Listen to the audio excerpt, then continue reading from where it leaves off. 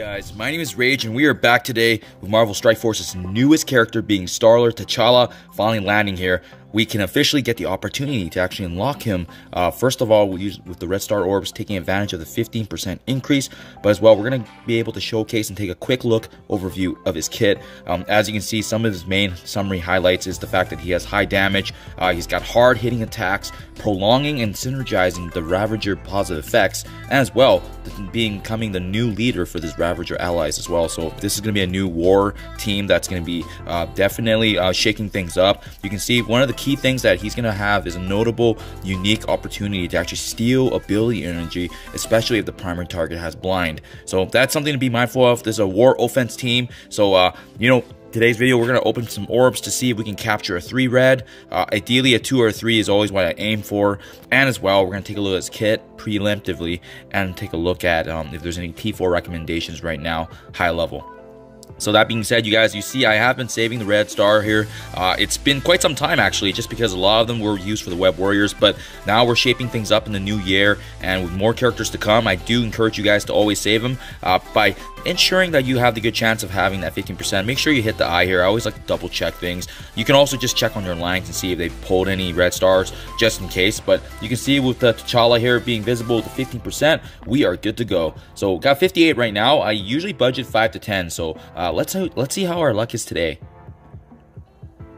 you know not not terrible. Um you know with the duplicates always keep in mind they do get added up uh to to be performed and upgraded later on in the higher red star. So not the end of the world unfortunately but you know obviously we'd like to see better luck when we start things off. So that was three right there. Uh no T'Challa yet but uh we got three right there. Wow for Mysterio. Again the duplicate uh, if our luck continues like this, we may have to actually open maybe an Elite Four, but oh, there we go. So that is exactly kind of what I wanted right now, three red. And to be quite honest with you, I don't know how hard I will go with him right now. Uh, I still want to strategize and see if he's going to be used in the Doom 2 raids, but uh, I'm just finishing things up here two threes here. Yeah, I'll open one more just to keep it a clean number here. But uh, hopefully you guys get some similar luck with me. Uh, personally, like I said, I always do like to aim for the Elite 3.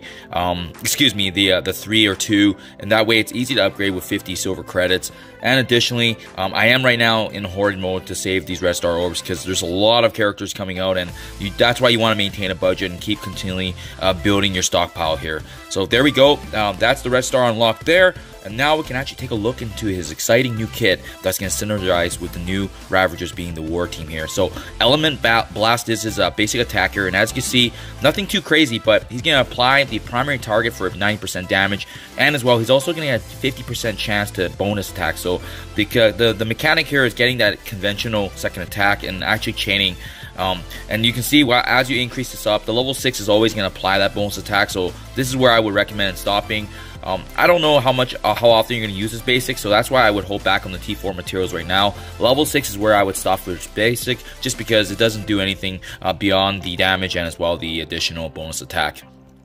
Gravity Repulsor is a special ability, and as you can see with this one, similar to the original Star-Lord here, he actually does apply blind, so he's attacking the primary target, and there's a 50% chance to apply blind at the very beginning. Uh, leveling this ability up here, he does actually have the unique ability to actually steal ability energy here, as, you can see, if they are blinded. So um, the notable thing is just this convention that's going to be newer in the game. Um, he's also going to apply defense down as you level this up, so there's some notable things as well. Level 6, he does get the increase here. If Yondu's an ally, it, the defense down actually does apply to all enemies. So um, this is where it's worth upgrading to. I would still upgrade to level 6, um, but level 7 here, um, by guaranteeing the chance that you can actually steal up to 2 ability energy. So for this reason, um, this is going to be a big T4 recommendation. Um, if I'm using him heavily in Doom 2 raids, you bet I'm likely going to use this uh, because specifically this can actually counter Doctor Doom uh, when he's needing that energy to actually activate his ultimate. Um, not with Star Lord on your team with T'Challa, right? So um, he's to be able to take that away from them and really control Doctor Doom.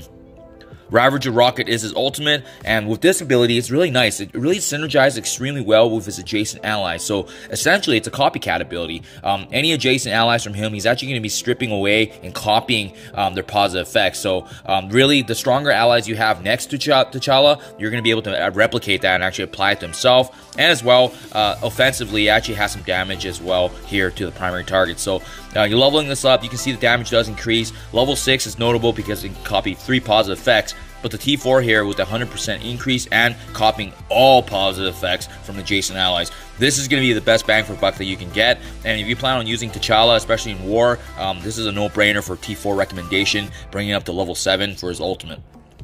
Last but not least, a Rousing Ravager is his passive here, and usually with the passives for these new characters, they're usually pretty strong, uh, especially providing a lot of synergy with the teams that they're intended for. So in this case, the Ravager team. Um, on turn, he's going to gain Evade, so every turn he's getting that, and as well, he actually naturally cleanses a negative effect from himself, and on top of that, supporting the Ravager allies with that same benefit. Um, he's going to get that increase in damage here by leveling this up, and as well, with any non-summon enemy death, he's also going to get an increase to the 30% speed bar. So um, this is very notable in the sense that if we're able to actually utilize this, the turn meter to our advantage, uh, T'Challa is going to get more turns um, ahead of the enemy. So this is beautiful to synergize with. Um, level 4 and level 5 you know, a lot of this is actually just going to benefit from being the war usage, but I would stop at level 4 just because he does get the increased damage, but if you plan on bringing T'Challa and the new Ravagers um, and building them up into a new war team, um, uh, the T4 here is a no-brainer just because of the fact that he gets an extra increase in 25% max health, and the Ravager allies also get that benefit as well, but if you don't plan on using him for war, I would stop at level 4 because that 15% increase to damage is notable and already does provide a lot of benefits, such as the natural evasion and clearing the negative effects. Um, overall, um, my tech team right now for the Doom 2 raids and being in the end game is actually lacking. Um, I am considering bringing T'Challa up because, you know, there's that fifth slot that's just not perfect yet, and I feel like he would have some extremely um, great synergies with Doctor Doom and Shuri being on that same tech team, and obviously Kestrel is part of that mix as well. So um, definitely looking to test that out. But um, hope you guys enjoyed this video and this preview of T'Challa to come. Um, I, I think it was mentioned that he's actually coming in a blitz, so uh, get ready for that as well. Thank you guys. I do appreciate you checking my videos. And as always, I'll see you guys in the next one.